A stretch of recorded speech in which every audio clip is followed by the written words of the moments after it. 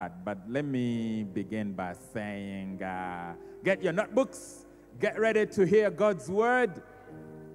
Uh, every time we get to get ready to hear God's word, we are excited. We are excited. Um, you know why? Because the Bible says that I am thrilled at the coming of your word. I'm excited, just like that one who is ready to receive or who has found great treasure. Uh, even today, we have found great treasure. And so today, God has brought great treasure to you, great treasure that will propel you into destiny. Uh, and it's important that you get your pad, your notebook, your whatever, wherever you keep your notes, because you know, you can't trust your mind enough. You need to write some of these things down so that you can be, you know, praying about this, but also so that you can go and apply. Uh, wisdom, we like to say here, wisdom is power, is only half truth. It's wisdom that is applied that actually is power. I like to begin today from the message version. And uh, from the message version is Second Corinthians chapter 5 and verse 5. Uh, somebody say the message version.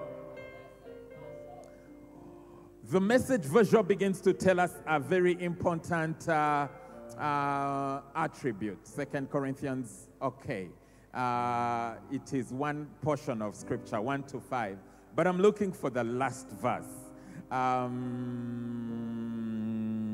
yes, where it begins to say, when we've been given a glimpse of the real thing, uh, that's where we'll begin to read from. I see, I see you, Leonard Businge from uh, abroad. I see you guys and I celebrate you.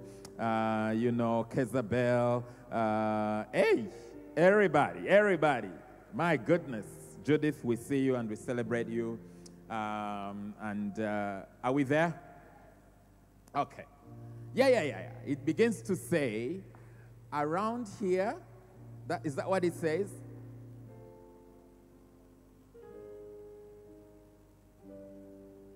Okay. It begins to say this. Around here seems like, yeah. Okay, we'll get to that around here. But let's read from here. Around here seems like, I actually like it. Around here seems like a stopover of an unfinished shack. And we are, yeah, we've been given a glimpse of the real thing. Can I stop here and then begin to share with you where it is that we are going? Ladies and gentlemen, we are today is day number 14 of our prayer and fasting season, but also we are in a pivotal month because we began at the beginning of July um, um, the, the, la- the next half of 2024. Uh, and often we go through seasons of life where we, we, we get to a place that seems like a stopover. And sometimes in that place we can want to chill or to rest. Uh, but it's not the real deal. Um, and so here in Scripture, Paul is writing to the church in Corinth and he says, We've been given a glimpse of the real thing. Our true home, our resurrection bodies. Then he says, The Spirit of God whets our appetites by giving us a test of what is ahead. It's coming. You'll see it in a minute. Is it there? It's coming. Yeah. The Spirit of God whets our appetite by giving us a test of what's ahead, and He puts a little heaven in our hearts so that, ladies and gentlemen, did you see that? So that we will never settle for less. I need you to preach with a preacher and say to your neighbor, We will never settle for less. No, you're not preaching well. The preacher is preaching better than you. Tell somebody somewhere, we'll never settle for less. If you're online, begin to say in the chat, you will never settle for less. Come on, somebody. Never ever settle for less. Yeah, we'll never settle for less because chances are that somewhere in your journey of destiny, you've settled for your mediocrity. But today, God comes to awaken us with a message never settle for less. Not takers are history makers. And so write down your title and say, Never settle for less. Yeah, I love this, this portion of scripture because it awakens me up to realize that there is more that God has prepared for me. Uh, I am here to bring a message in the middle of the year. I'm here to bring a message in the season of your time. Don't settle for less. There is more in your life. There is more that God has granted and guaranteed for you. There is more in you. There is more. You haven't yet seen it, but I submit to you there is more. Do not dare settle for less. I'm telling you, there is more in each of you hearing me today. I love the scripture. Many of you love it. Many of you have memorized it. It's Jeremiah 29 11. Jeremiah 29 11 begins to tell us that God knows the plans that He has for me.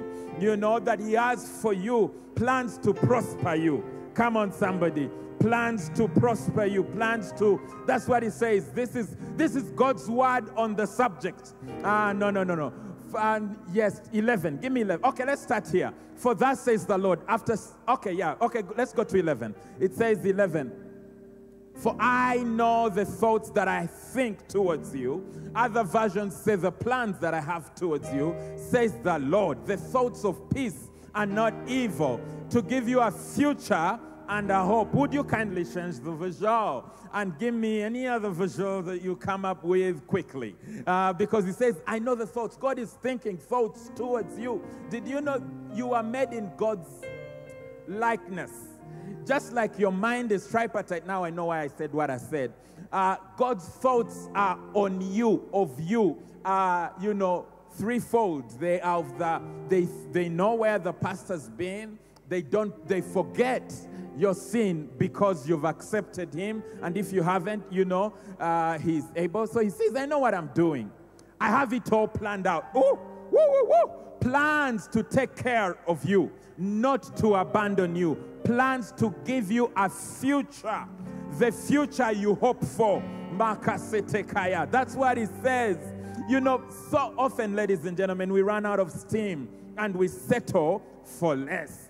But the notion of never settling for less tells me something, you know, powerful. It reminds me that I should never, not now, not ever. If I don't settle now, I shouldn't settle tomorrow. I shouldn't settle the next week. That means I should never. One of your maxims in life ought to be never settle for less because your God thinks great thoughts towards you. And so this teaching comes in the middle of your fasting season to awaken you to say, I can't allow chapatis to steal my destiny. I can't allow a plate of food to make me comfortable. I can I have got to see beyond. I've got to go beyond and never settle for less. Somebody at their workplace today will go out with an understanding that I am not going to go settling for less. You know, when you settle for less, you produce less. But when you go farther and believe for the best, our God is an excellent God. Hallelujah. Mm, I will never settle for less. Many times at the beginning of the year, we start with enthusiasm. We start 40 day prayer and fasting. Shakataya. You know, we are fasting 40 days or whichever number of days, and we have this vision of what the year is going to look like. And somewhere in the middle of the year, we run out of steam we ran out of favor. We were reading God's word. You know, when you check your YouVersion app, it was busy at the beginning of the year. What happened? The Paul writes to the church, I forget, I think it's Galatians, and it says, Who bewitched you? Yeah. What happened? What happened? Don't run out of steam. Maybe it's dreams you've had. Maybe it's aspirations that God has impressed on, the, on your spirit. Don't run out of steam. Hallelujah. Don't fall for mediocrity. You know, sometimes we go through seasons and we started with enthusiasm, we started with passion, we started with excitement. You know, when we got married, we were like, my goodness, my goodness, you had it all together. But I'm trying to tell you, don't settle for less just because you are in your, give me a year, in your 20th year of marriage. Don't settle for less. There is more in the inside of you. There is more that God wants to do through each one under the sound of my voice. And as I was praying about this word, what I heard God say is, Awaken my people. There is warriors in them, there is lions in them, there are hearts of victors in them. God is calling and looking out for you and wondering, why are you a weakling yet you're supposed to be a victor? Why have you taken on the posture of a victim yet I've created you to be more than a conqueror? There is greatness on the inside of each and every one of you to be awakened, never to settle for less. Somebody say hallelujah. It's in the portion of Genesis 11 where we are going. Genesis 11 and verse 27 out of the New King James Version. Uh, we'll begin from 27, read down to verse 32. We may share another version somewhere in there, but let's begin to read and hear what God's word says. Are you ready? Mm, mm, mm, mm. That's what it says. It says, This is the genealogy of Terah. Ladies and gentlemen, whenever God is doing something, He likes to do it in generations. There are things God has been looking to do in your bloodline, and He's looking for a man or a woman He can stand with and can believe never to settle for less. Ah, may you be that woman. May you be that man that will rise up and say, I draw the line. There are people that lived before me, God bless their hearts, but I would like to live a life that never settles for less. So in scripture, verse 27, God is beginning to tell us about a man that should have carried it. You know this story. It's the story of the father of Abraham. Now, we, his name is Terah, and we are told this is what Terah's story was the genealogy. So, Terah begot Abram and Nahor and Haran. Haran begot, ah, you're not reading with me. Let's work together. Haran begot, Lord, let's read on to the next verse. This is what we are told in verse 28. In verse 28, we are told that Haran, the son of Terah, are you working with me? Now dies before his father. This is a misfortune that should not happen to you. You know, it is not a good thing, um, you know, to die young. You know, it's not a good thing to die young because there is things that God has created in you that by the time you are done with life, you should die empty. You shouldn't die full of potential. So Haran died young. He died full of potential, but we never got to know what he could do or could not do. So Haran died young. He died before his father Terah in his native land in Ur of the Chaldeans. Are you there somewhere? Okay, so let's read on in verse 29. Then Abraham and Nahor took wives. The name of Abraham's wife was, and the name of Nahor's wife was, the daughter of Haran's, the, of the daughter of Haran, the father of Milcah, and the father of Iscah. Verse 20, 30. In verse 30 now we are told that, but Sarai, this is the problem. We have a problem. Sarai was barren and she had no child. I'm here to stop and say that every time God has a great destiny for you, He will bring a small challenge that looks like a humongous challenge. You'll discover that you will be born out of a very broken family you'll discover that you come from a very disadvantaged, humble background. I use the word humble with careful thought because there is another word I wanted to use. And now you know which kinds of words I was going to use. You know? But you'll, you'll wonder, why me? Why me, God? Why do I come from this scenario? Why do I come from? But listen, the greater the destiny, the greater the challenge.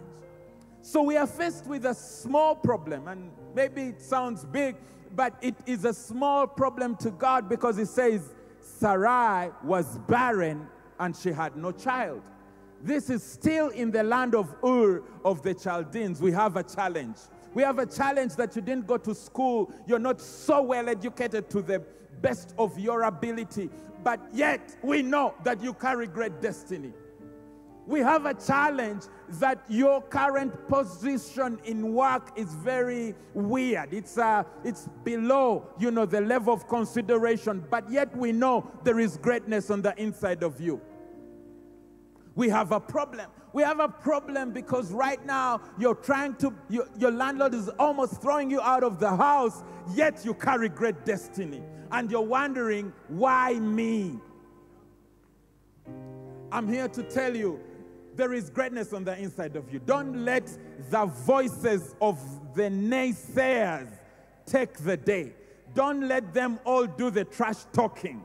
Ah, listen to what God has to say. There is greatness in you, and you should never settle for less. So in verse 31, and this is where we're going to land and make, you know, our, our meal for the day. In verse 31, the Bible tells us about this guy called Terah, the father of Abraham and Nahor and Haran, uh, that, that when Haran died and when Sarah was barren in that land, he received an instruction from the Lord to say, Go to the promised land. I'll take you somewhere. And the Bible says he, Terah, took his son Abraham and his grandson Lot, the son of Haran, and his daughter-in-law Sarai, and his and his uh, Sarai, his son Abraham's wife, and they went out with them from Ur of the Chaldeans. I want to stay there for a minute and tell you that don't think it's a light thing for you to convince your son who has a wife that now let's live here Let's go to a place that God told me to take you. Let's go. Let's go to the promise, the land of promise. There is a future, a great destiny. We can't settle for Ur of the Chaldeans. There is a great land that God has given this household. Come, let's go with me. Come, you know, come with me. Pick up your family, pick up your belongings, get your tent uh, poles. We are going far we are going far. And so he sold this vision to this son of his, Abraham. He wasn't a young man. He was about 65 of years of age at the time. He had a wife, and that's how you know that the wife was barren because, you know, how can you know except it's been long enough? Are we together? So now they are going to the land of promise. I'm here to submit to somebody that there is a land that God has prepared for you. That's literally and that's illustratively.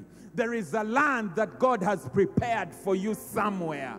Oh, in that land is your place of favor. In that geographical location is your place of prosperity. In that place, there is your place between here and there. But when you get to your there, you fulfill your purpose at a whole nother level. You're there, God has blessed people to help you in your place called there. And it was the place of promise called the land of Canaan.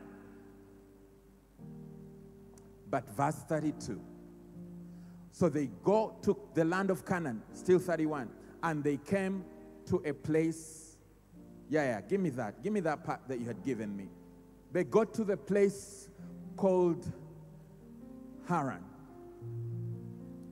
They were going, but they met a city in between. The city was called Haran. They were going to Canaan to go to the land called Canaan to go to their promise, to go to the promise that God gave Terah. And they came to a place called Haran, and they dwelt there. I'd like to change the visual a little bit and ask you for the NLT, if you don't mind, of this verse.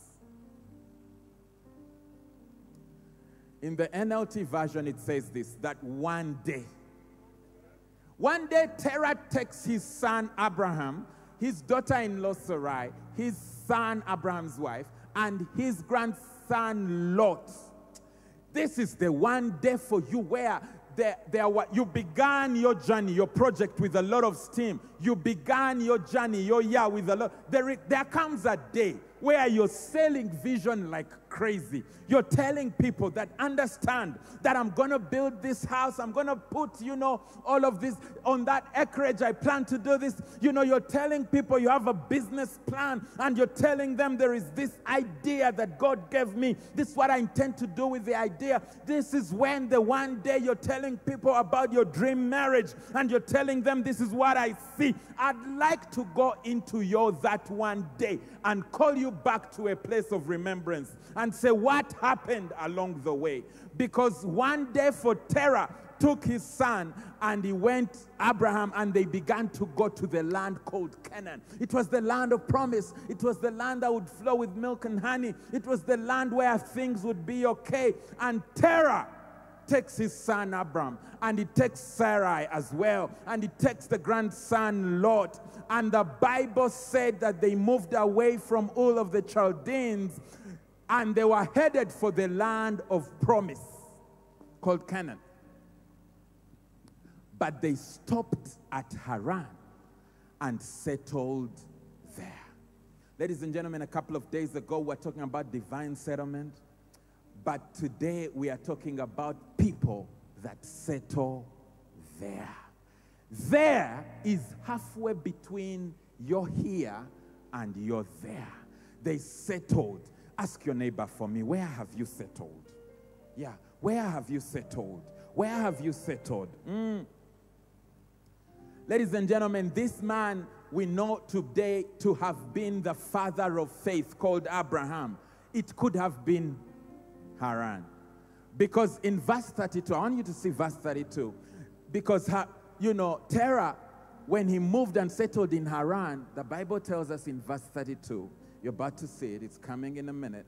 The Bible says that so the days of Terah, in other words, the years, the years, he lived 205 years, and Terah did not reach. He died in Haran. God has had mercy on us because He's bringing this word at the right time. That we will not die in our Haran, but that we will run the race to our promised land. That you run the race to your destiny, that you run the race to your purpose, that you'll understand that there are things God intended to do for you in a season called 2024, and that you run the race towards the finish line. Hallelujah. Mm, mm, mm.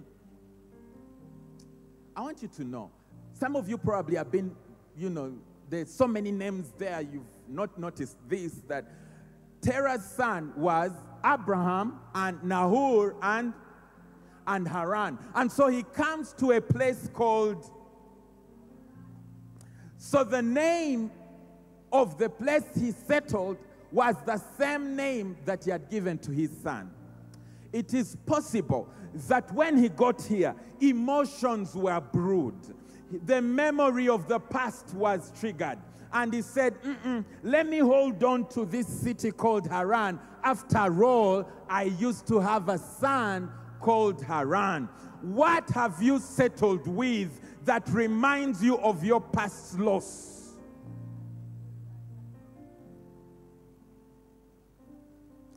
And so he gets to Haran and he settles there.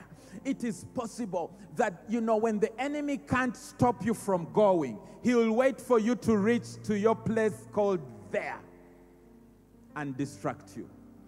When the enemy can't stop you from seeing the vision, he'll wait for you to go a little while.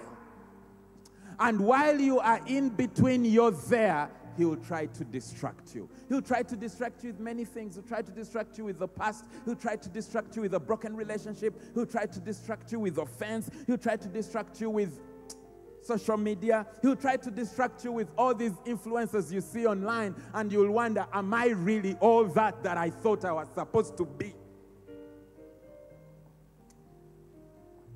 Don't settle halfway there. Don't settle for mediocre results. Maybe some of you thinking, maybe the man settled in Haran because he was old. He was just like so tired and he was old. He even had a grandson. He lived for 205 years. I want you to know he wasn't old at all. Don't let age limit your settling. I mean, don't let age convince you to settle in your there because listen, we know from scripture and from Bible study that he lived in Haran for 70 years. Some of you have written off some things because you think you're too old. Yesterday, a mother of faith, a mother of one of us here, got married. You know, she attended our wedding 10 years ago. On her birthday, it was her wedding, and she was 50. So, yesterday, she got married. You do the math you know. And some of you have discounted yourself. I don't know what you think you are. That thing that you think is too old for you to get, God is saying it's never about age. Because you're limiting God because you think God lives in time. He lives in eternity. It's never about age. There's a guy called Smith Wigglesworth, and some of you know about him. He's a He's a revivalist, you know, he did so many things, and some of you have read his stories. But you, I want you to know that when he was retiring, he was, you know, a, a plumber and he was just tired of doing what he was doing. He was old and he was retiring. And God places such a huge burden and a great anointing and a great assignment on this retired plumber. And Smith Wigglesworth does so much more in his retirement than he ever did in his career. You are never too old to receive from God. Why settle for less? Don't settle for less, ladies and gentlemen. Hear me. Whatever God said to you is still possible. Because, you know, uh, He's the God. When you think you have thought, He supersedes your thinking. You know, in Deuteronomy 1 and verse 10, He says, May the Lord of your fathers make you a thousand times more numerous than you current, currently are. When you think you've thought your greatest thought, then he makes you a thousand times more. My goodness.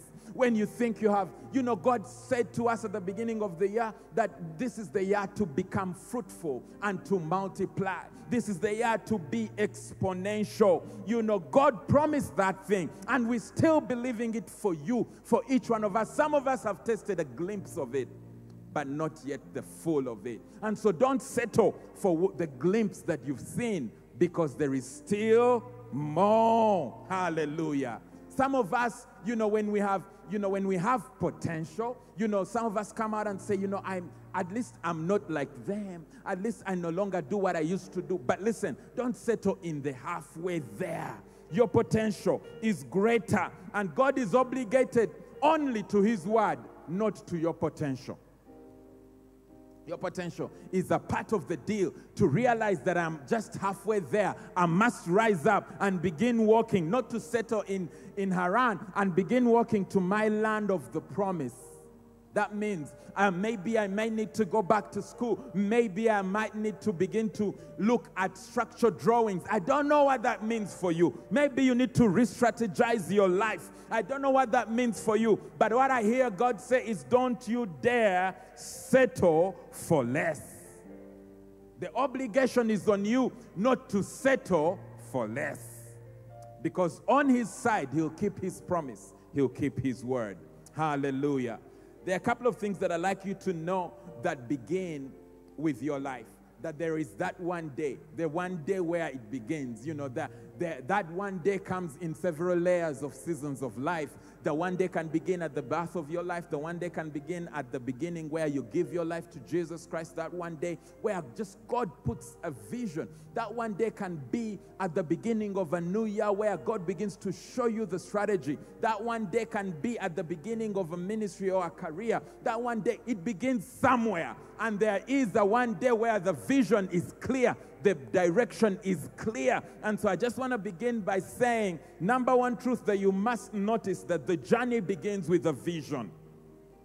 The journey begins with a vision. He tells Terah, Go to the land of promise called Canaan.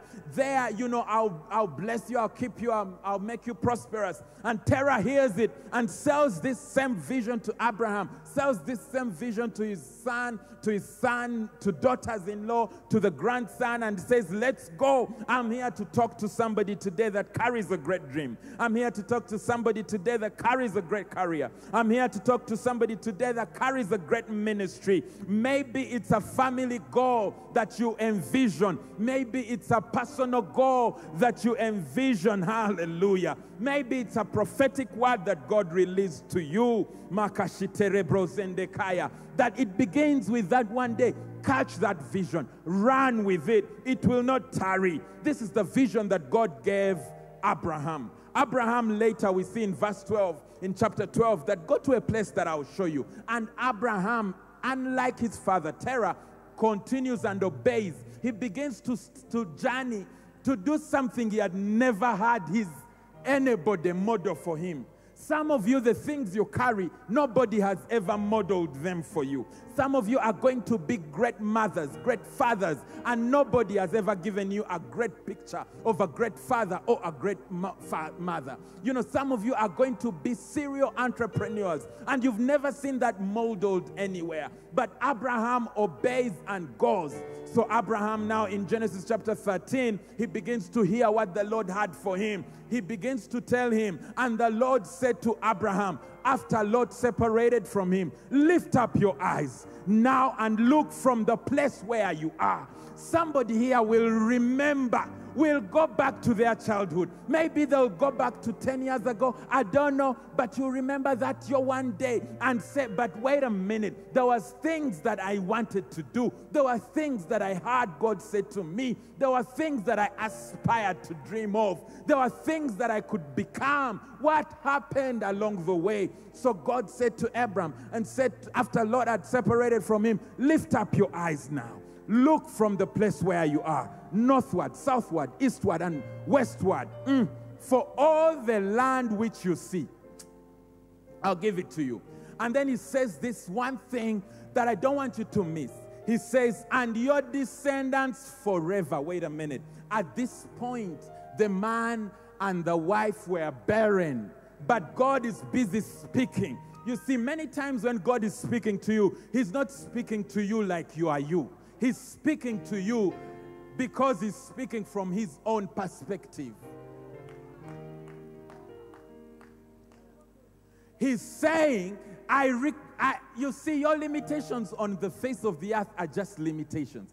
But from my side of the story, you are going to have many descendants. He's speaking plural when this man is already way too old. His wife is way past menopause, and he's saying you'll have many descendants. Some of you, you know, God is speaking and he's saying you'll become pastors of many churches. Some of you, you're hearing me, and God is saying things about your marriage will become a model marriage to many other marriages. Some of you, God is saying, and now you recognize you're not even married yet, or you're not even like you're in marriage, but man, God is writing your story. When He's speaking, He's speaking that your descendants will be many forever. Verse 16, He says, And I will make your descendants as the dust of the earth. God, are you crazy? Because God is speaking about this vision. It is outrageous. My goodness, it's out of this world. He's saying that I will give you, I will make your descendants so many, so numerous. Your descendants will be as many as the dust of the earth, so that a man could not number the dust of the earth. Then your descendants also could not be numbered. Like God, for real, I'm a hundred years old. I can no longer function. The engine just went to bed. What do you mean, plural? Descendants so many that the entire global village cannot even count. Not even AI can estimate. Ladies and gentlemen, I came to submit to you that it begins with a vision. It begins with that thing that God has given you. It is usually outrageous. It is usually preposterous. Uh, that's a word that I also me I found out in my study time. Preposterous Yeah, I, I prepared to speak it like I am complicated. I wanted you guys to think I'm complicated. Yeah, yeah, yeah. yeah. But you know, you can Google it or something, but just just check it out. But some of the synonyms that speak about preposterous is is it's outrageous. Yeah, it's it's it's ridiculous. it's outlandish. My goodness. Listen, it's laughable because when people look at you, they see your current condition, they recognize there is no way this is going to happen. It's unreasonable, it doesn't make sense. How on earth do you connect the dots? Genuinely speaking, it's laughable. 2024, so God said, You're going to be fruitful, you're going to multiply you know, you're going to be exponential. It's laughable. It, they look at uh, Bambi, she's confessing. Bambi is saying he can multiply, he can scale up. Well, there is nothing. You know how they've said that you begin from scratch? For you, you don't even have scratches.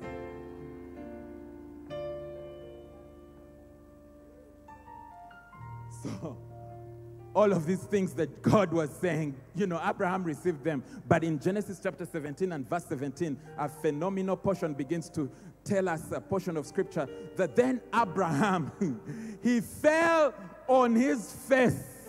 I wanted to demonstrate, but I wore white.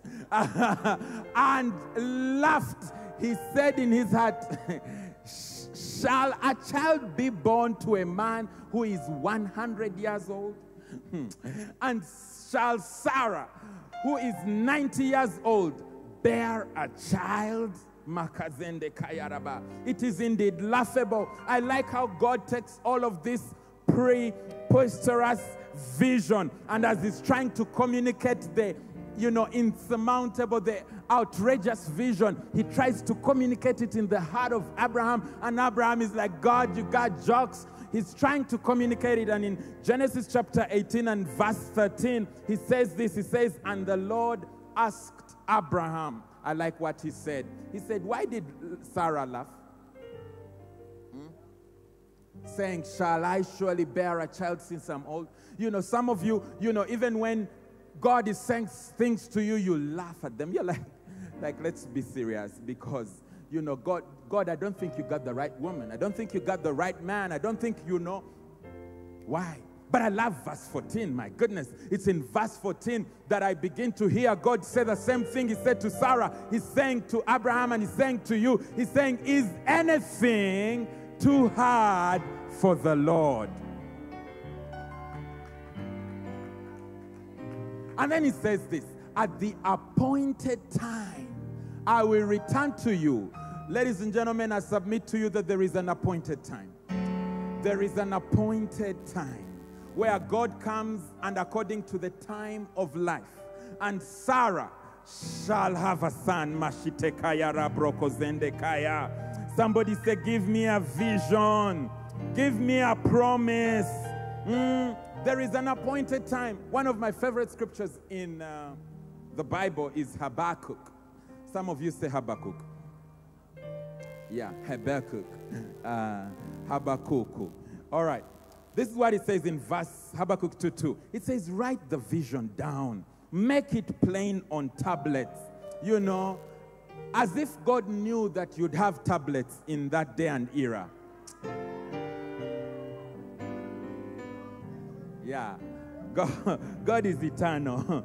All right, some of you can write on papers, it's fine. He said, and write the vision and make it plain on tablets, that he who may read it may run with it, that he may run with it who reads it. And this brings me to my truth number two, because uh, between the promise and the appointed time, that's where the problem happens.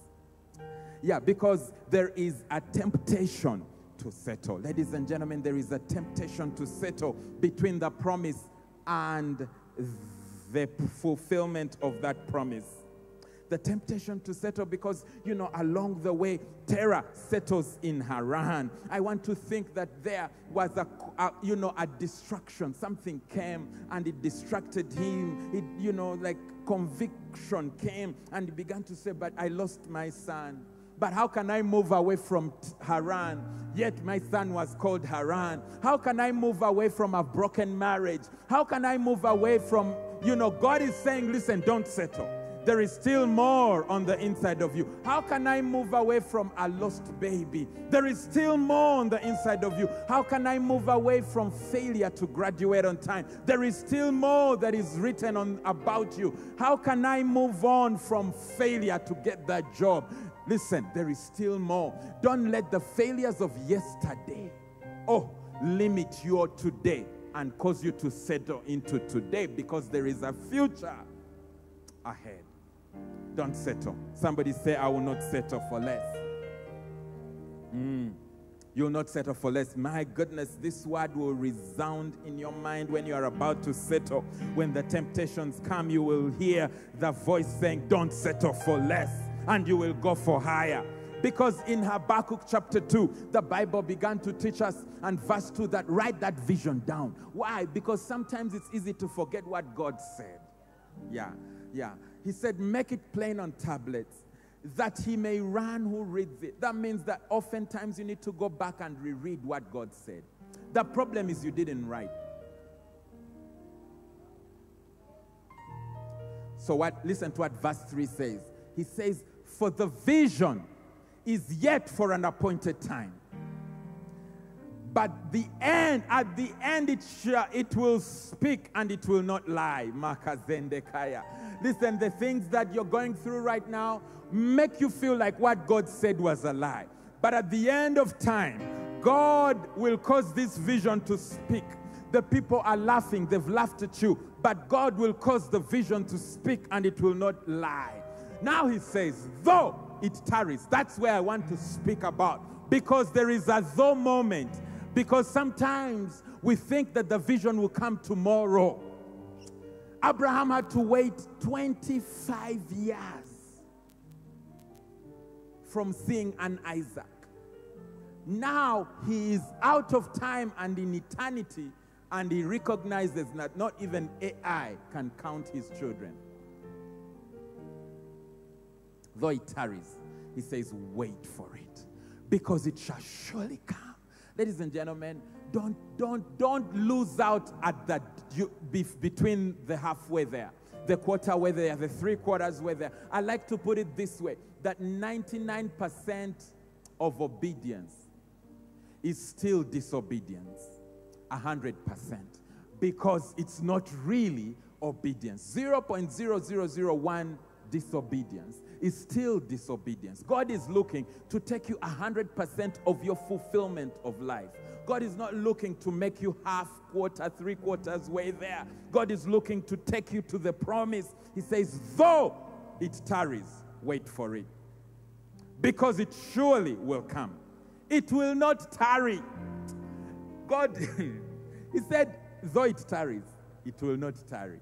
Ah.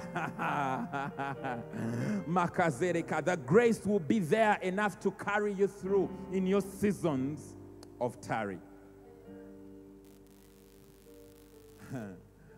I was reading this and just, you know, like some rhymes started to, like, you know, sometimes I get like all like lyrical and all of like rhythms come into my heart. And so I began to say, but what was the problem with Terah? Because he tarried in his season of tarrying.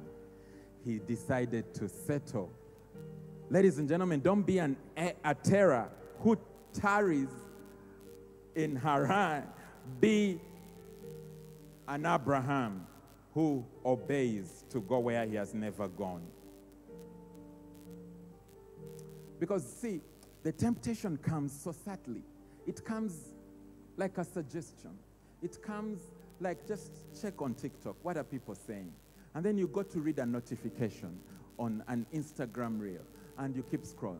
And you keep scrolling and you keep scrolling and you scroll. But you had told yourself, I'm going to pray just before I sleep. And then two hours later, you're still scrolling. And those two hours are never going to come again. Do you know you've just settled on TikTok? you've just settled on a reel. You've entered your Haran.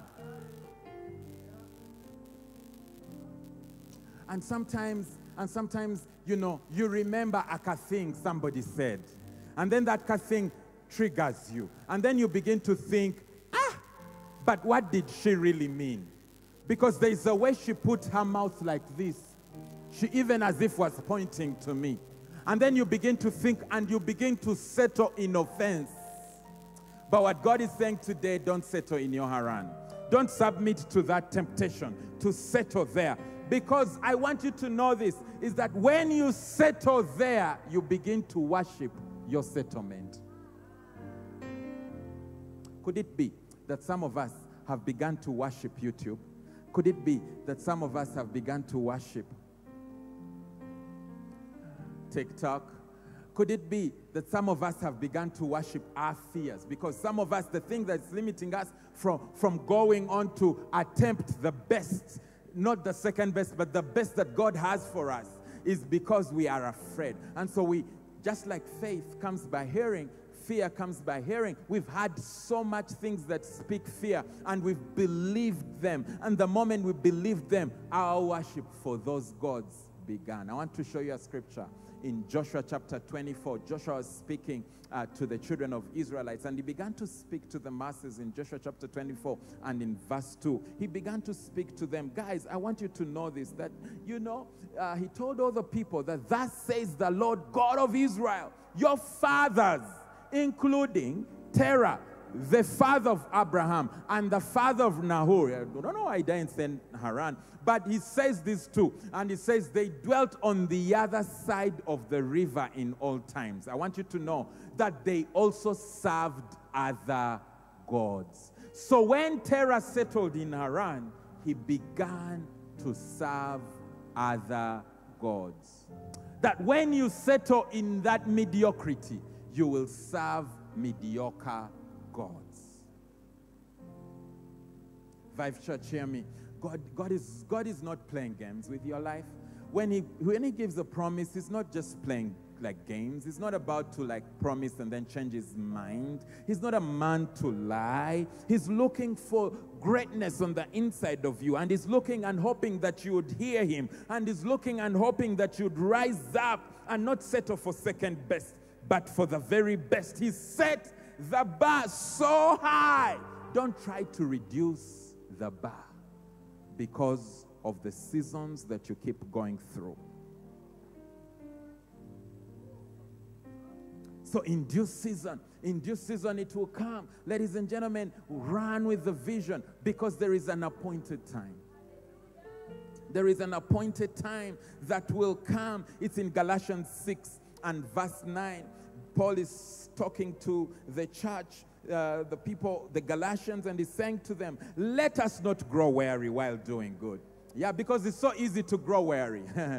ah, let me tell you, I know you all are holy and holier than thou, but I submit to you that there are times I've thrown in the towel. There are times I've given up. There are times I have fallen and settled for below the bar. And in those times, you know, I have seen the pain, and I'll talk about that in a minute. I've seen the, the pain of settling for, for less than what God promised because there is a cost to it. So he says, don't, don't, don't, don't grow weary while doing good. Keep doing good. Ah, Ooh, this coward, eh? This coward is so easier preached than done. Because, you know, sometimes you can be doing good and you're like, but can't you see? can't you see this thing is tight? Can't you see I am tired? Can't you see, you know, even throw a tantrum in prayer? You come like a two year old. I go down. I don't want. I don't want. Says, no, no, no. Don't, don't, don't, don't, don't grow weary in doing good. For in due season, ah, there is a due season, an appointed time you will reap. Only if you don't lose heart. And the word coming to you today is come on now, don't lose heart. Pick up the sleeves, square your shoulders, go for it. You can do this thing. There is greatness on the inside of you. You can become exponential. You can fulfill the call of God on your life. Don't throw in the towel. There is a testimony being written. Don't quit on chapter 7. Don't quit on chapter 11. There is where the book will end. God is rewriting your story. There is seasons where it's called you are about to grow weary, but don't do it. Don't do it. Keep doing good. You reap in due season. Makasete kaya rabozende kaya. Listen, in your season of doing good, and it's easy to throw in the towel, in that season, that's when you're growing the most. Yeah. Because it's in those seasons that things have been tight and you feel like you're between a rock and a hard place where you hardly, you're struggling to even pray. But God is building your muscle. God is building your capacity. God is saying you can carry greater. You can be a great leader of many nations. That's when God is building you in your season. In that season when it's hard, God is building you for greater. Don't, don't even look at me like you've never gone through such seasons where you've wanted to quit on God, where you've wanted to, you know, you've said, I won't even go to church. I won't even come to crew night. I won't even pray those things of AMG because I'm tired. You people I've been waiting for this testimony. It's been seven years of waiting. I've been waiting. It's been 20 years. Listen, don't don't, don't, don't grow weary. Do not grow weary. May the word of God be communicated to the depth of your spirit for you to understand that there is greater, that your story is not your neighbor's story. Your purpose is not your neighbor's purpose. How you navigate through seasons of life is not the way your neighbor navigates. They may be driving now, you may be hopping on a boda. It doesn't matter. God is writing your story. It doesn't matter. They may be married with four children. It doesn't matter. You know, you might listen. God is writing your story. Yeah. I saw this scripture, you know, many years ago while in high school, it used to be like my anchor scripture. It took me through seasons, tough seasons, when I almost threw in the towel as the papa of the fellowship at Ntare School. And I would be like, but why me? Why am I the one going through a hard time? You know, why me? And yet, you know, people call me the papa. Why is it that me, the papa, who should be leading scripture union, and yet me things are not working? Yet people come to me and tell me their testimonies. Papa, you know, when you are leading prayer, eh, eh, eh, eh, eh, Papa. And then God gave me this word in Isaiah 43. Let's start with verse 1. Verse 1. Start with verse 1.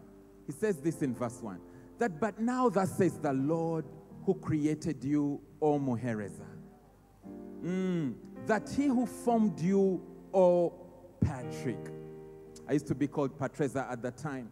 He who formed you, O I am speaking uh, the way I had reconstructed this scripture. He who formed you, Patresa, he said, Fear not, for I have redeemed you. I have called you by your name, and you are mine. That word encouraged me. That word kept me going. May that be somebody's encouragement in the middle of their year. May that, may that word be for you, somebody that, listen, don't fear. God, you are His. You are His. He created you. He created you, so it can't be this thing that the doctor has said that can threaten you. He is your creator. It can't be this thing that the government, the nations, or the weather forecasters are saying. No, no, no. He's your God, and you are His. So in verse 2, he says something phenomenal. He says that when, not if. Listen, in your between here and there, there will be a when moment. You pass through the waters. He says, I'll be with you. He says, and through the rivers, they shall not overflow you. And that when you walk through the fire, hear me, somebody, you shall not be burned down. You shall not be burned, nor shall the flames scorch you. I want somebody to hear me that when you go through the waters, there is a when moment when the temptation to give up is so strong. There is a when moment when the temptation to throw in the towel is to say, Let me be here in Haran. After all, even me, I've tried. God will also understand. No, I'll pick up your sleeves, pick up yourself, and begin to walk towards your destiny. And it may be harder. It's in that time when you're going through the waters, when the power of God is so present. It's in that time He says, I will be with you. If you ever doubted the presence of God, check in your seasons where it's the hardest. God is with you. And through the rivers, Makashite, though the presence of God is so strong, He's there, He's with you, He's with you. Don't give up. Don't, don't, don't let the circumstances of fire or water, you know, cause you to throw in the towel. They may keep changing. Weather will change. Weather will change because you see, when he spoke to you, it was shining and it was midday. But sometime it will become dark and it will become night. Don't quit when it is dark. No, no, no. Sometime this time next year, God will come through. Sometime, and that's not a time according to the calendar of men. That's a time according to the calendar of God. He's not in time. One day is like a thousand, and ten thousand, and ten, a thousand is like a day to him. He's not in time. He's, he's looking at us, wondering. Some of us are saying, but time has written me off. Is there anything too hard for the Lord? Number three truths that I don't want you to, to forget is that, listen, ladies and gentlemen, there is a cost of settling. There is a cost. Haran is expensive. Yeah, you're going to settle in Haran, but there is something you're going to trade off. There is a lot at stake. I submit to you that at the end of the other side, there is an incredible reward uh, at the finish line, but there is also an incredible cost when you try to settle and take matters in your own hands. So many times I've done this and I've seen what I've had to trade off, and I've realized this was not worth it at all. Sometimes the cost, thankfully, is short lived. Other times, the cost is eternal. We look at Abraham today. Abraham had to pay a cost at some point at the age of um, 13 years into this, into waiting. Before the, you know, before the 25 years, you know, could elapse. Sarah comes at Abraham and he says, But Abraham, are you sure you heard God properly? He says, My baby girl is. Me, Abraham, I hear God. And maybe I like to replay that conversation, and maybe Sarah said, But Ab, you know, A for Abraham, B for baby. now you are awake. Ah, you guys like love. Anyway, so but Ab, maybe you didn't hear. Maybe what God meant eh, that your seed, your your seed, you, your seed, maybe not me, your seed. Maybe you know I have this favorite servant of mine. Her name is Hagar. You know, just sleep with her. And so, Abraham, don't do this if you're married and you're a man. Don't do what Abraham did. Said, hmm. And so he began to consider it. And as he considered it, story goes, they, they begat Ishmael. Ladies and gentlemen, the war we still hear of today between Israel and the Middle East and, and, and Palestine and all of that began with that one decision of settling. Your decision of settling has a cost to it. You may settle today, but it may affect generations after that. Don't settle. Don't, it's a bad deal. Don't fall for it. Don't fall for the bad deal. The bad deal is to try to get you to settle in your Haran, but I'm telling you, don't settle for the bad deal. It was the bad deal still because this bad deal thing continued in the generation. One day, there, were twin boys, Esau and Jacob. And Esau returns home and is like, man, it's been a long day. He was going through the fire at work. He was, uh, he was uh, a hunter. And that day he didn't catch anything. He had gone through the waters. Maybe he was in sales and that day no deal was closed because you know maybe he was an entrepreneur and that that season it was like a whole quarter there was no lpo do you understand? Uh, and maybe i don't know where you are right now but i hear god say don't settle for less. It might be a season of a fire. It might be a season of water but i'm with you. I am with you. Don't settle for less because the decision you will make in the settling for less may affect generations after you. It's a bad trade off. So, for a bowl of soup, Esau sold his birthright because it's like, but I'm hungry. You, you, can't you see that I'm hungry? Don't settle for less. And that's the end of Esau because then we hear of Jacob and Jacob later. Don't settle for less. I like to finish with this, ladies and gentlemen. Some practical ways for you, for you to avoid settling. Yeah. I like to go through them very quickly, but number one is reconnect with your first love. Ladies and gentlemen, fall in love again with your God. There is a way you used to serve Him, there is a way you had a passion for Him. There is a way you used to pray. There is a desperation you used to fast with. There is a way you used to cry out and say, God, help me. God, mercy. There is a way you used to come to church early. There is a way you used to go and say, What can I do? You know, is it to what, Pastor, tell me what you want me to do? There is a way you used to want to serve the youth. There is a way you used to want to serve the young people. But go back to your first love. Go back and fall in love with regular prayer, with worshiping often, with reading of God's word. Use that app. You didn't download it for far. You know, use it open your hard copy Bible and read it because when you begin to read God's promises, you align with what God has created you for and you strengthen your resolve. Hallelujah. The Bible says that they that know their God, they will be strong. Before they do great exploits, they will be strong. The reason you are weak right now and you're about to throw in the towel, could it be that your knowledge of your God has weakened? Go back to reconnecting with your first love. That's why he says in John 15 and 5 that I am the vine and you are the branches. If you remain in me and I in you, you will bear how many fruit? Much fruit. God has prepared much fruit, exponential fruit.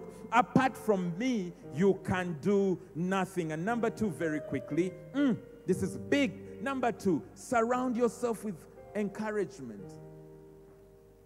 God speaks to Abraham, unlike his father, you know, he speaks, he speaks to, to Abraham. he first spoke to Terah, his father, and he says, Go to Canaan. And, and he looked at the people in, her, in, in Ur of the Chaldeans and, and the loss he had gone through and all of that. He said, I'll leave these people because there is greatness that I carry. And he left Ur of the Chaldeans, but he settled in Haran. Why? Because in Haran, he found the same kinds of people that were in Ur of the Chaldeans. But he had to break camp to go to his promised land. What God wants you to know is you need to find good community to go with to your promised land. Mm. Listen to what he says in Hebrews 10 24. He says, Let us consider how we may spur one another on towards love and good deeds, not giving up meeting together. Ladies and gentlemen, don't give up attending church. Don't give up attending crew night. Don't give up being in communities of, great marriages. Yeah, because you can settle, easily settle in a community of side dishes. You can easily settle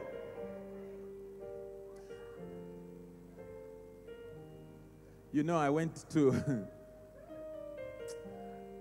you know, I went to book a, a, room for my wife and I, and I was, I was with good community. I was with Mrs. Komunda.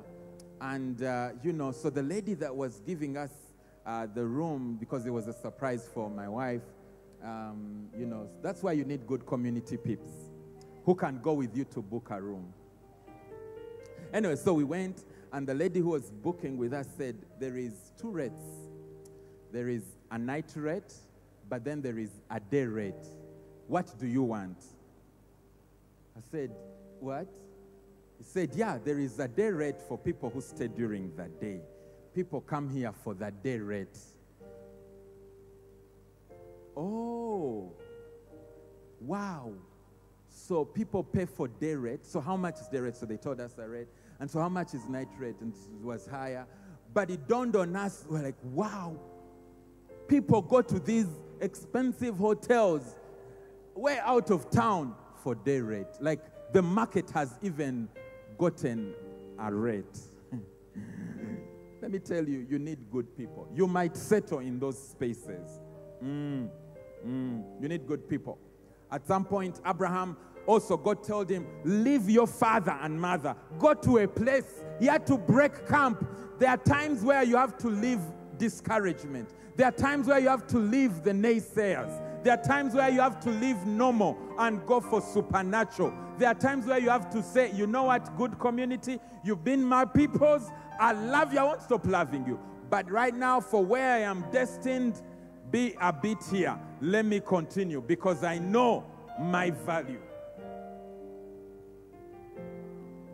At one time, Abraham, you know, he got into a contention with the guy he brought because the Bible says Lot went with him. God didn't speak to Lot, but Lot went with him. And Lot saw great favor and Lot saw great prosperity. But he grew a chimango one time and he said, Me, I want the land that looks so. And so he said, No, let him choose.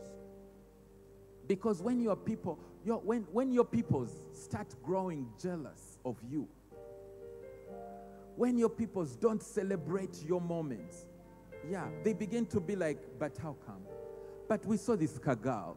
How, how can this car boy become the pastor? How can he be my crew leader? How can this car guy be the CEO? How can she be the director? How? No, no, no, no, no, no, no, no. You know, I, they, they begin to wonder. They begin to, how can you drive that car? No, no, no, no. You know, wait, break camp. It's time to break camp and continue.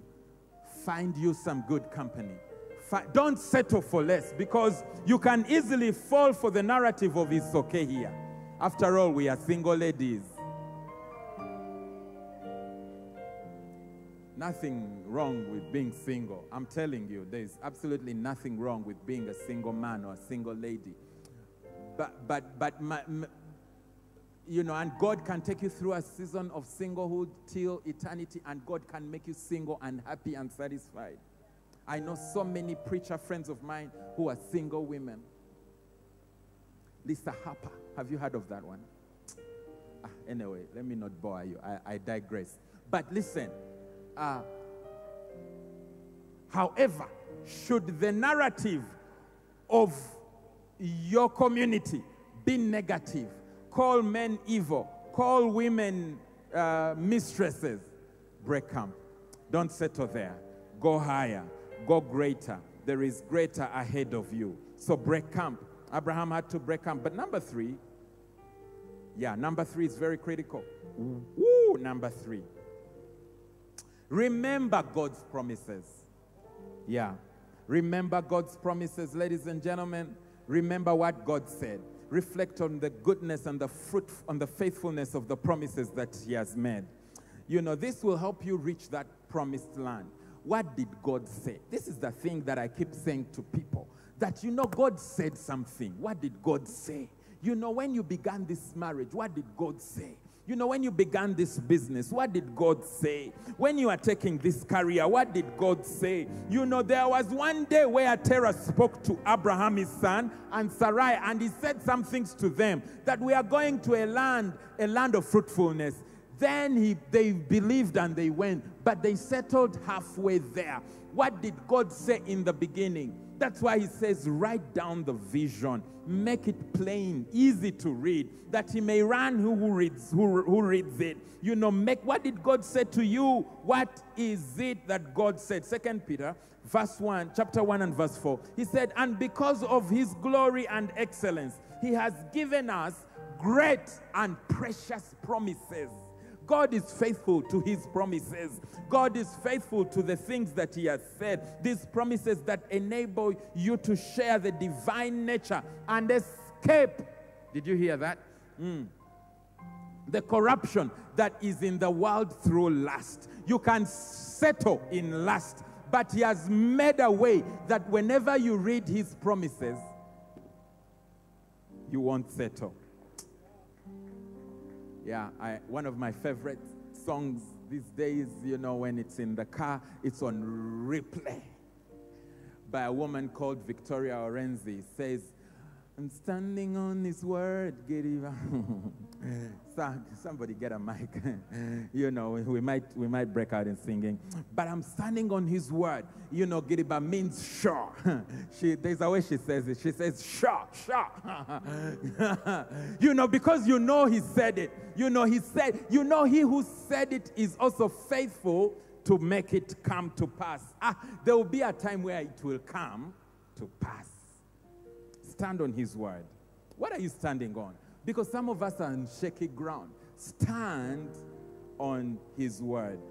All other ground is sinking sand. Stand on what he promised. Don't allow yourself to trade off for the pleasures of man. Trading off the promises of God instead of the pleasures of man. Don't do that. It's a bad deal. Don't settle for that. You know, get onto his word. But four and lastly, is renew your perspective when it comes to the challenges of waters and fires and those seasons. You know, renew your perspective, your perspective of challenges. Hear me. That the waters only confirm that God is with you, that the fires only confirm that God is with you, that the pain you're going through only confirms that God is with you, that the that, that, that the limitation is just to confirm the, the, the current failure is just to confirm that God is there holding you. He says this He says, I'll never leave you or even forsake you. So, perspective matters. Change your perspective and understand that in your times of pain and challenge, that's when you're growing the most. That's perspective. Understand that I may be, it may be hard for me, but I am growing in this season and that I am growing the most. Also, perspective matters because then you can remember the things. Now I know why I said that your mind is tripartite. You can remember the things that God did and help you in your season. We see this man called David, he's facing with Goliath, and he says, ah, I remember in my seasons where I faced with the lion and I faced with the bear. I was a shepherd boy in the middle of nowhere in the bush, and I was tending to the sheep that my father had given me. And when the lion came, I split it apart. And when the bear came, I split it apart. Now, who is this uncircumcised Philistine? Before me. That when you change your perspective, because David could have complained and said, why me? Why, why, why did my father wish me to come where there is a Goliath who is going to kill the entire Israel? Even me, I'm going to be killed. But he changed his perspective and he said, Nah. Who is this uncircumcised Philistine? Understand this with me, ladies and gentlemen. Every challenge that presents itself before you in a season of your life that that's a preparation for promotion. It's preparation because David begins to say, What's the reward for me? What's, who, what's the reward for taking down a Goliath? What's the reward of overcoming this temptation of sin? What's the reward of every time there is a challenge, a limitation, a temptation to settle in Haran? Understand that there is a great promise ahead of you. This word is entering. Yeah. Little wonder David begins to tell us something phenomenal in Psalm 77 and verse 11. Verse 70, chapter 77 and verse 11, he says, I will remember the works of the Lord. Ha. You know, sometimes you remember how he came through you for you for school fees. Sometimes you remember how He was there in a tight season for you when you couldn't get a job. Sometimes you remember, I will remember the works of the Lord. My goodness. Surely I will remember your wonders. 12. I will also meditate on all your work and the talk of your deeds. Don't settle for less. No, don't settle for less. Remember what God did. That means He can still do it again. Yeah, what God did then means He can do much more now and that He will do greater tomorrow. Don't settle for less. Don't settle for less in your prayer life. Don't settle for less in your uh, ministry life. Don't settle for less in your career. For everything, all of life, don't settle for less. And we rise up on our feet. It's this famous song.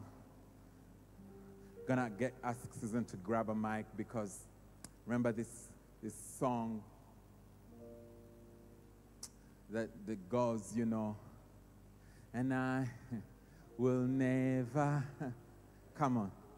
Where are my musicians at? You're, you are flatting. My goodness.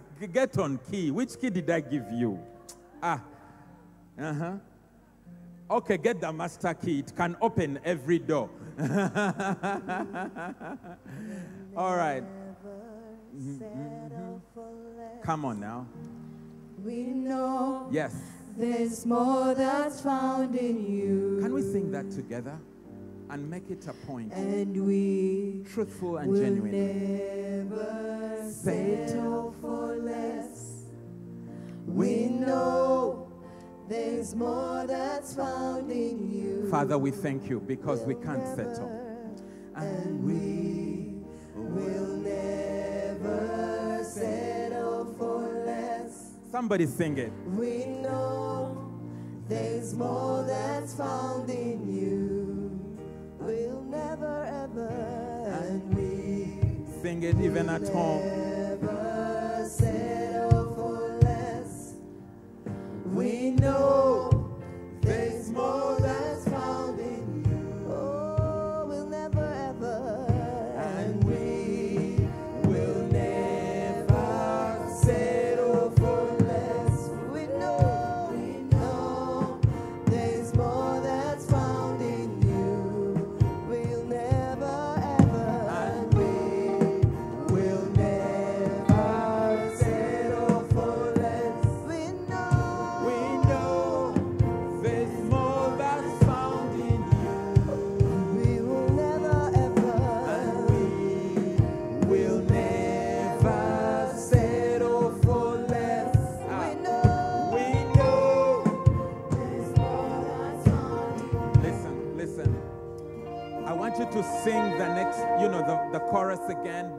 sing it with determination.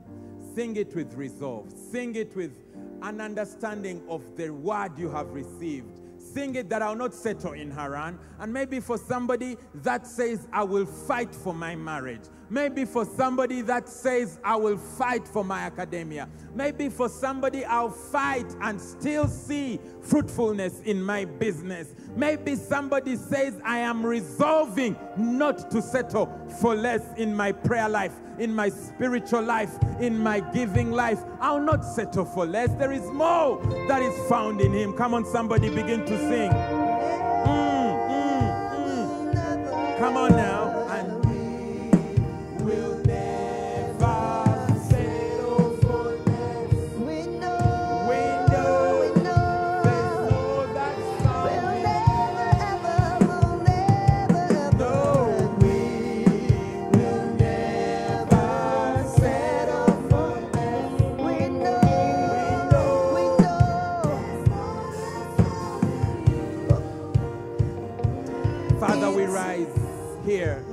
We say that we are determined not to settle for less.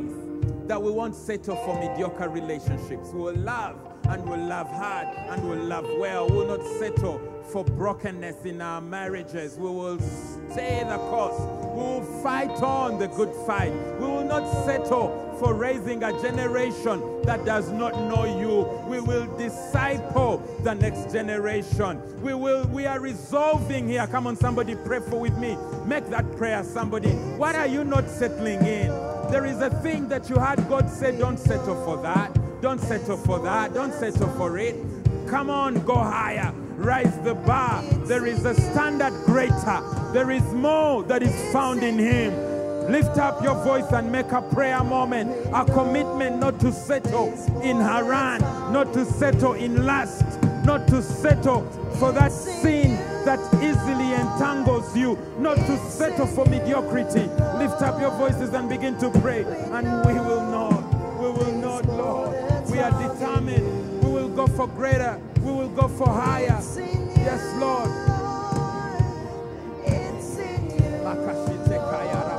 We know We know there's more that's found in you.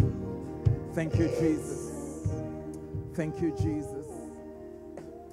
There's somebody who is here, and maybe you've settled in a mediocre relationship with your God. And today it's a call that don't settle for less. You know, first things first, can you surrender totally your life to me? The call, he says, I stand at the door of your heart and I knock.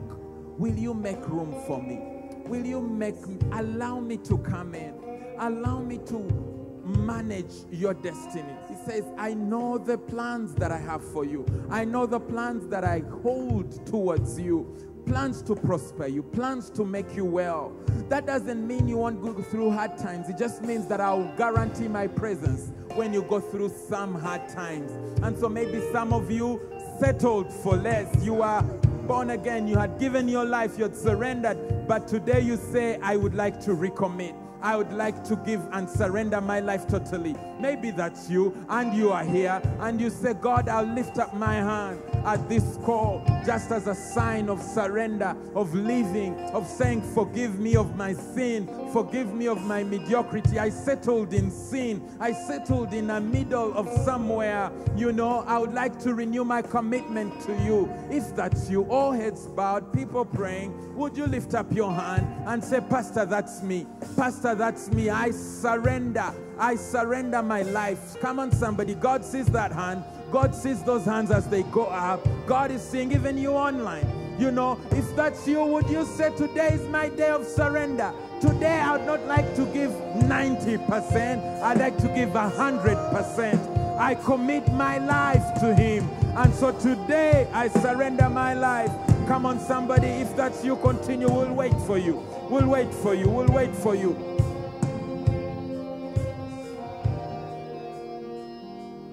We'd like to lead you in a prayer of surrender, in a prayer of commitment, in a prayer of total surrender to the one who formed you, to the one who holds your future.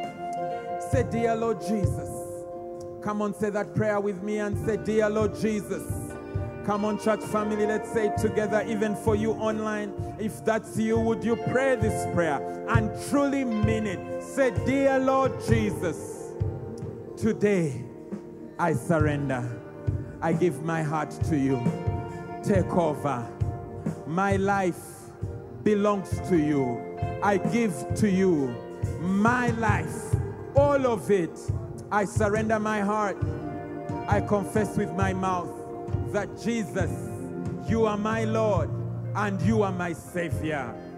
I choose not to settle in sin. I go for righteousness. Help me as I go. In Jesus' name we pray. Amen and amen and amen. Hallelujah. If you made that prayer, somebody's probably standing next to you. A salvation champion. If you're online, jump into our DM. Would like to guide you on processes on how to commit and continue not to settle. Hallelujah. I like to pray a blessing over each and every one of us here today. You know, you're here, maybe you are about to settle in, or you've settled somewhere halfway. Maybe you had quit on your father. The Bible says that the effective prayer of a righteous man will avail much. God is looking to reignite your passion to that place of fervency, to that place of a relationship that is genuine and authentic, and you're saying, Yes, that's me, Pastor. I like to pray. I like to pray a prayer that the fire will burn again, that the altar that you once had will be ignited afresh, that your faith will be ignited, your steam will come back again, that you run the race with endurance, that you not throw in the towel. Father, I pray now, I pray in the name of Jesus. I pray in the authority of a higher priesthood for men and women here, for women that are saying, Lord, will that was us who are about to throw in the towel, for men that were saying we were tired, we were waiting and we were tired, but now we recognize there is greater, there is higher. Lord, we come back to the place of prayer. We come back to the place of worship. We come back and surrender. We come back to that place where it's honestly and genuinely about you. We come back to the place where we pour our hearts out that it's about you, oh God. Spirit of the living God, begin to ignite their passion, begin to ignite their fervency for you, begin to fall afresh, just like it was in the upper room. Morocco Senderebra. God says, I love you. God says, I call you. God says, I know you by name. God says, I've not forgotten you, my son, my daughter. I know your destiny. There is greater, there is greater treasure on the inside of you. And what He's saying, I'll take you there. I'll take you there. And so may you be ignited by the Spirit of God. Fire up for greater is he who called you, and he called you for greater, for a higher standard. And so, Lord, I pray that your blessing will dwell there, your blessing for multiplication, your blessing for peace in the middle of the storm, your blessing to be in the lion's den and shut up the mouth of the lion. Lord, I pray that you'll encourage that one who is going through the waters, who is going through a tight season, that you'd lift them up, that you'd encourage them, that they will know that you'll never leave them, even forsake them. Let them not settle for less. Let them ev- never, ever settle for less. For our God has called us a life of excellence. And so, Lord, I pray that everyone here will live a life supernatural life of excellence, greater results, because you've said in your word that me and my children, the children that God has called us, we are marked out for signs and wonders. And every man here, under the sound of my voice, is marked out for miracles, signs, and wonders. Miracles in marriage, miracles in, in, in education, miracles in their in their career, miracles in their productivity at work, miracles, signs and wonders, supernatural, a thousand times more, fruitfulness on every side, lands and property, increase on every side. In Jesus' name we pray. And somebody here genuinely said, Amen and Amen. God bless you. Don't settle for less. In Jesus' name.